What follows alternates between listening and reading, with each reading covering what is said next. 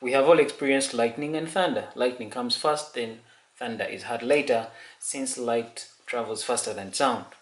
I'm sure we've all heard probably over the news or physically how lightning sometimes destroys buildings and trees, sometimes causing death to people that especially take shelter under the trees when it is raining. To protect a building from the disasters caused by lightning, a device called a lightning conductor or a lightning rod is normally placed at the highest point of a building. This device was invented by an early scientist called Benjamin Franklin, the very reason why it is sometimes referred to as the Franklin rod. In this tutorial, we shall discuss how this lightning conductor or how this lightning rod works.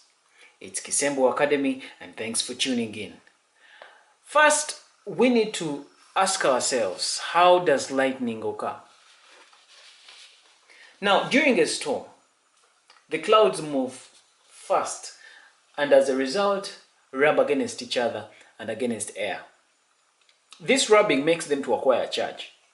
This charge is normally distributed on a cloud in such a way that the, top part is positively charged and the bottom part is negatively charged.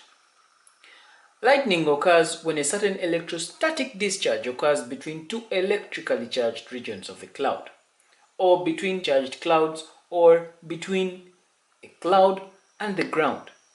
In other words, when two oppositely charged clouds get to be near each other, a huge spark a huge spark of electrons jumps from the negatively charged cloud to the positively charged cloud.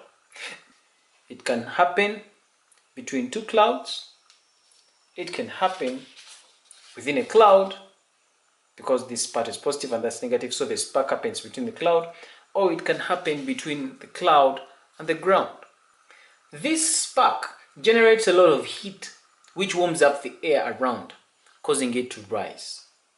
When the air rises, air from the neighboring layers reaches to the spot to replace the risen air, and in so doing, a loud sound is produced. This loud sound is what we call thunder. So now when all this happens, how does the lightning conductor work? Here we have a lightning conductor, a schematic diagram. In this diagram, we're having copper spikes that are connected to a copper strip, and this copper strip at the bottom is a copper plate. It is more so like this. This is a lightning conductor with the copper spikes. It is connected to a copper rod which goes along the building and it is buried into the ground. So what exactly happens here? How does the, the lightning conductor work? These are the spikes. When a negatively charged cloud comes near the spikes, a very high positive charge is induced at the spikes. This creates a very high electric field around the spikes.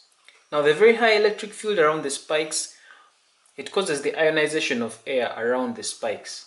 So when the air around the spikes gets ionized, you're going to have positive ions in the air will be repelled towards the cloud and in so doing they will be discharging the cloud. The negative electrons are attracted to the spikes. As a result, the electrons from the, from the cloud are safely conducted to the ground and this prevents lightning from striking the building. This brings us to the end of this video. Please don't forget to comment below or hit that like button. Someone out there may like to watch this tutorial, don't forget to share. Otherwise, for more videos, simply subscribe to this channel. For Kisembo Academy, this is Arnold Ranga Kuramia.